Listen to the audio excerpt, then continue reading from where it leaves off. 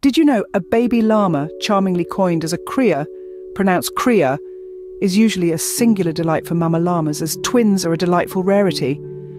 With a gestation period of nearly 350 days, these adorable creatures make their entrance into the world, weighing about 22 pounds. Now, here's a fascinating fact. Unlike most mammals, llamas have oval red blood cells, an evolutionary marvel that allows them to absorb more oxygen, making them ideal for life in high altitudes. Not only that, their coats are also utilised to create fabric and other goods. Within an hour of birth, crias are standing, walking, and nursing, but don't expect a milk surplus, a mama llama's milk, lower in fat and salt, but higher in phosphorus and calcium than cow or goat milk, is produced in small amounts of about two fluid ounces at a time. Who knew, right?